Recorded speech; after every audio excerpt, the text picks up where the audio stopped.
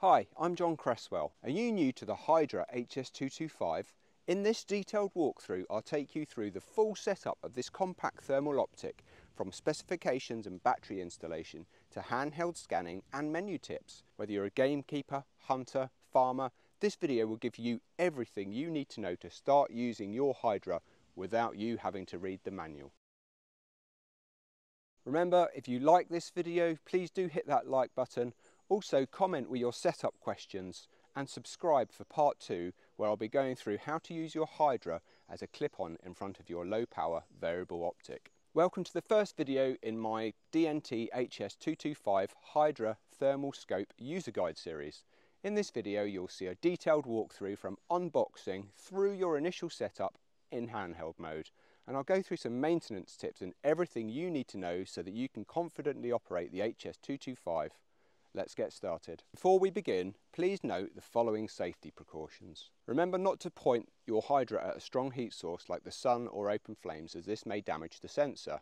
The operating temperatures are minus 4 degrees Fahrenheit to 122 degrees Fahrenheit, so that's minus 20 to 50 degrees Celsius. And also, do not try to strip the device. If it does have a problem, do send it back to DNT. Unboxing. Let's take a look and see what you get inside the box. So inside the cardboard box, we have a DNT storage case. Unzip the case. In the top of the case, you have a lens cloth and an instruction manual.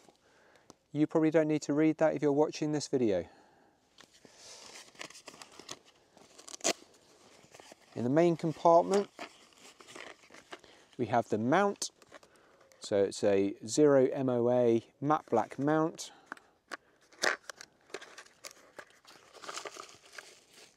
And in there you'll find the bolts and a torque tool and the mount itself.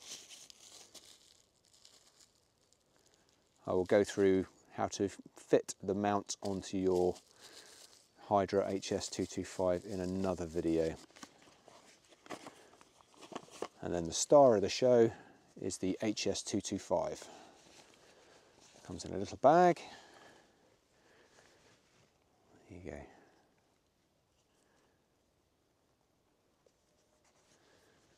It's got a lens cap and a removable eyepiece. You may need to buy 18650 flat top batteries and a battery charger. My device did not ship with these, so if you want to use your device as soon as you get it, make sure you order the batteries and charger too. Specifications. The sensor resolution on the HS225 is 256 by 192 pixels on an uncooled sensor. It's a 12 micrometer with a noise equivalent temperature difference, NETD, of less than or equal to 25 millikelvins. A lower NETD means the device can distinguish between objects with very small temperature differences, which is vital in low contrast situations like fog, rain or camouflage.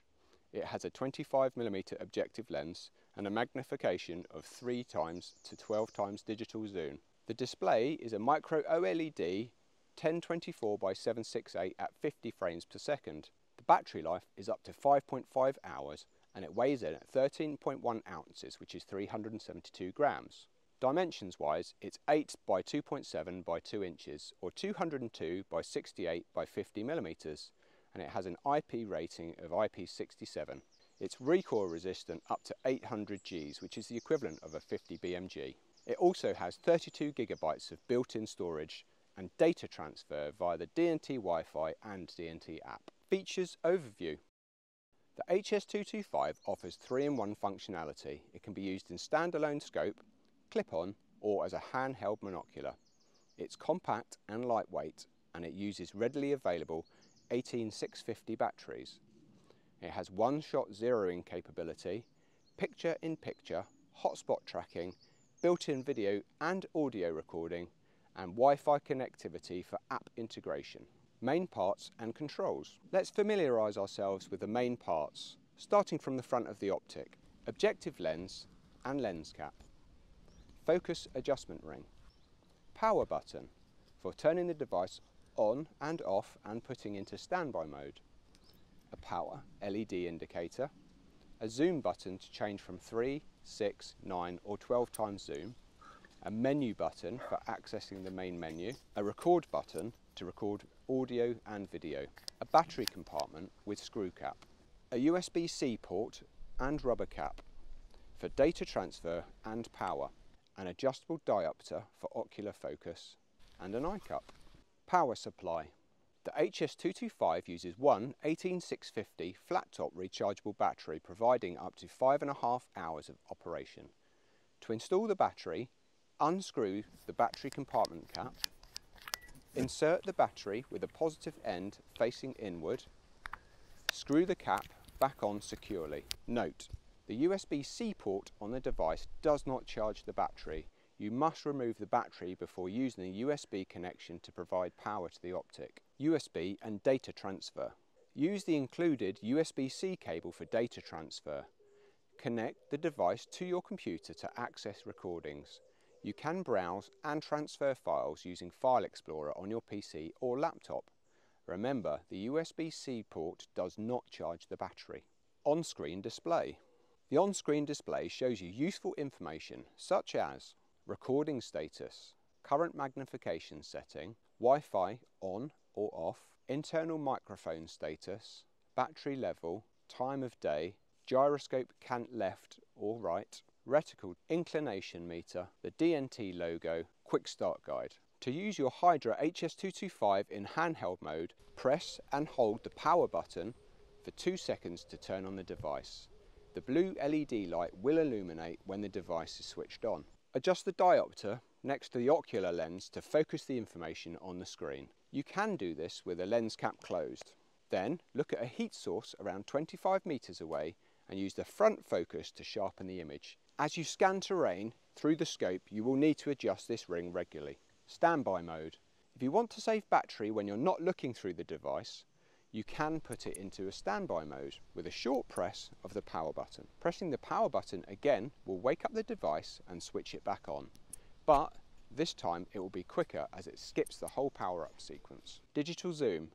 Pressing the zoom button will change the digital zoom between 3 to 12 times magnification. Once you've cycled through by pressing the zoom again, you will return back to the 3 times magnification. Thermal palettes. When scanning terrain, you may find different types of thermal palette are more effective. When the device is switched on, you can change the palette with a short press on the menu button. You can select between white hot, black hot, red hot and iron hot. Screen brightness can be adjusted with a long press of the zoom button. A brighter image in the day may be useful, but you'll probably want a lower setting at night. Recording. You can set the Hydra to record the screen by pressing the record button with a long press you will see the red recording icon in the top left of the screen and a timer to show the recording time. Pressing the record button a second time will stop the recording. Wi-Fi connectivity. You can connect the HS225 to your smartphone via Wi-Fi and the DNT mobile app for real-time streaming, control and media transfer. To set up Wi-Fi, long press the menu button for more than two seconds go to Network Settings, Wi-Fi and then toggle On. On your phone, connect to the HS225 Wi-Fi network. Enter the default password, which is 12345678. Open the DNT app, tap Devices, Add Device and select the model. On the Devices screen, ensure you tap the Software Update link each time you use the app. That way you will always ensure that your device is running the most up-to-date software. By tapping on this icon, you can view all of your recordings in the app.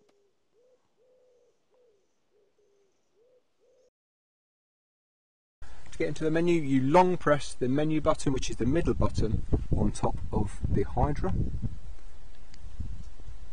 You'll notice there's a number of different features within that menu. So at the moment you have clip on.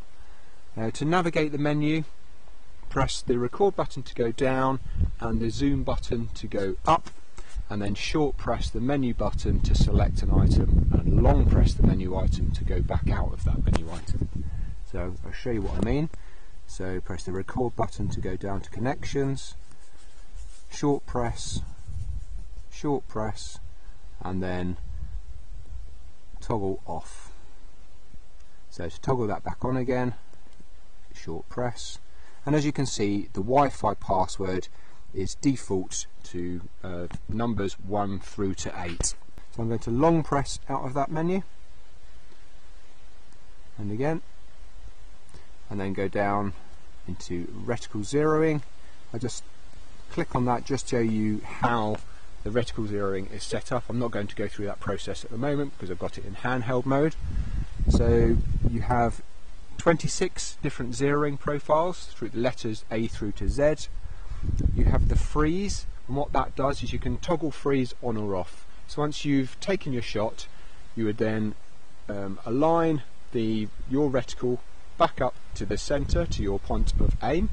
You would then freeze the screen, and then you would move the reticle onto your point of impact by actually moving the screen using the X and the Y axes. Sounds technical, but basically all you're doing is you're aligning up your point of impact with um, with the reticle on the screen. So you're actually moving the screen into the correct place. Once you've done that, scroll down, click save, and then that, that will save your settings. Like I say, you've got 26 settings in there, so effectively this could go on 26 different rifles if you had 26 different rifles. So I'm just going to scroll down to exit. The next one down is reticle settings, so let's go into reticle settings. First one is reticle. So looking at the reticles then, there are eight different reticles, two in the first focal plane and then six in the second focal plane. So if I just scroll down through each of the reticles, you can see all the different choice that you have.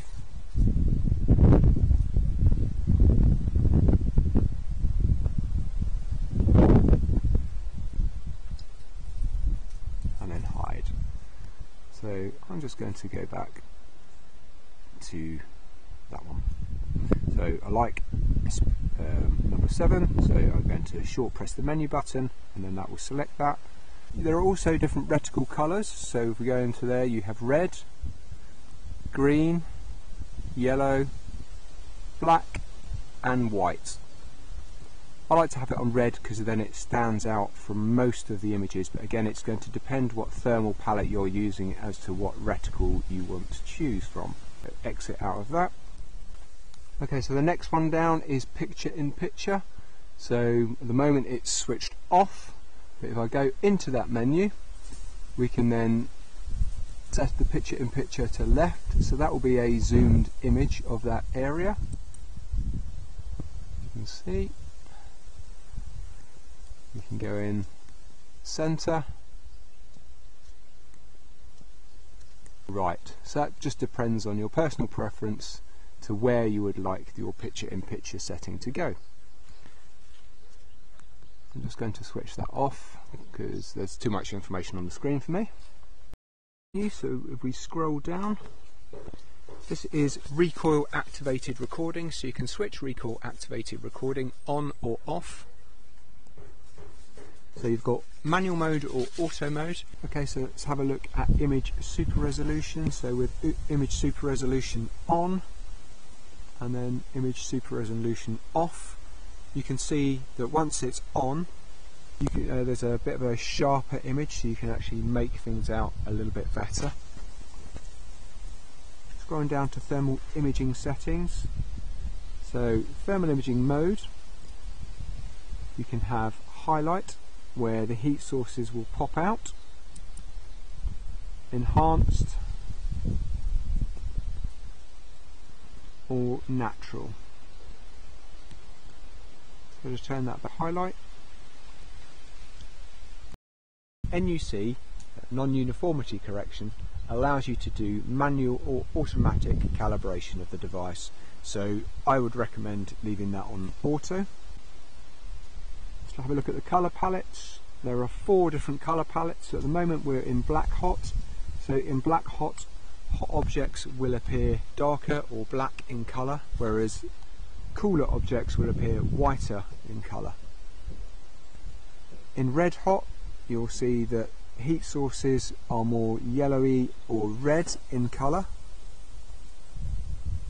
whereas the cooler objects appear darker or blacker in colour.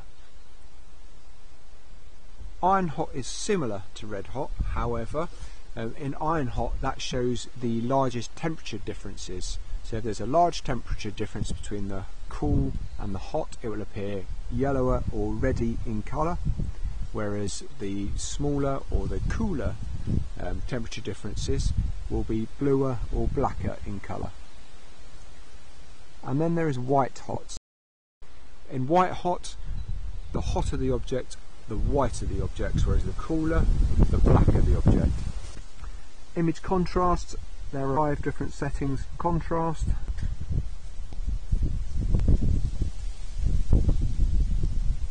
Image brightness, again, different settings for brightness.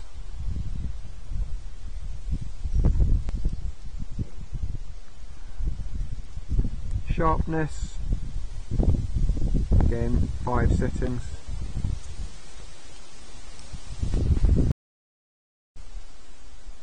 And then we have hotspot tracking. So turn that on. The hottest part of the image will have a red dot. You can see that moving around the screen. Turn that off. The next menu we have function settings. So if I just go into that you have defective pixel repair. So that will allow you to target a defective pixel and correct it with auto power off you can select between off, so the device will only switch off when you switch it off, or you can select power off in 10, 20 or 30 minutes. Loop recording you can set to off, 1 minute recording blocks, 3 minute recording blocks or 5 minute recording blocks. Audio recording you can switch the microphone on or off you can calibrate the gyroscope within the Hydra to your rifle, so match it with your bubble level or SG pulse if you use one. And you can um, so you can go into the calibration settings. Screen brightness, there are five different levels of brightness. If you're out in the daylight, a bright daylight today, you might want it on 4 or 5. But if you're out at night, you may want it on level 1 or 2 so that you don't strain your eyes. So in the system settings you can update the date and time, you can change the language between English, French, Spanish, German and Italian. You can format the SD card, so you can restore the device back to default settings. You can check the available storage on the device and there is an internal 24 gigabyte storage card on here. And you can also check your firmware version. So if you go in there you can check what version of firmware that you're running. Make sure you subscribe to my channel and you hit the bell icon so that you stay up to date with the notifications of when I release videos. Thanks again for watching.